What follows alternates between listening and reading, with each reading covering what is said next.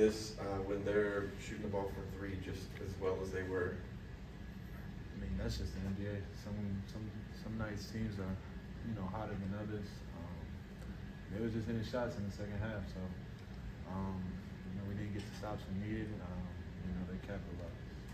You guys already thin at guard. Um, you lose beat in this one. Uh, just how tough does that make it uh, when when you are, are thin at depth? Yeah, it sucks, um, but we just hope he gets healthy and right as quickly as possible. Jalen, uh, career high night for you, but obviously you guys wanted to win. Just what was working for you out there? Just playing my game. I mean, that's, that's about it. And what can you take from that to, to face them again on Wednesday? Um, we know we have to, you know, close out possessions. Um, you know, we can't let guys be going in the second half. I got to be better. Um, we just got to be better as a team, um, especially in that second half.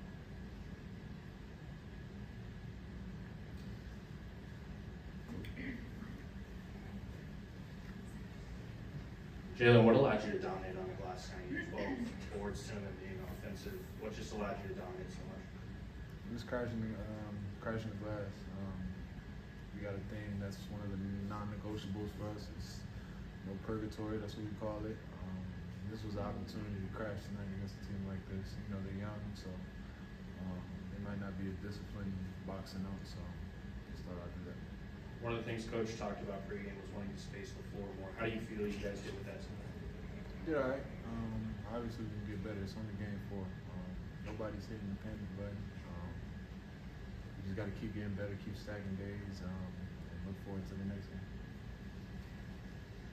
Uh, with your career high tonight, have you had a chance to compartmentalize the growth you've had from year one to now? No, I haven't really thought too much about it. Um, not tonight. Um, it's just another game. Um, wish we would have got the dub. Um, we play them again in two days, so gotta get ready for that. All right. Thank you, Jay. Thanks, Jalen.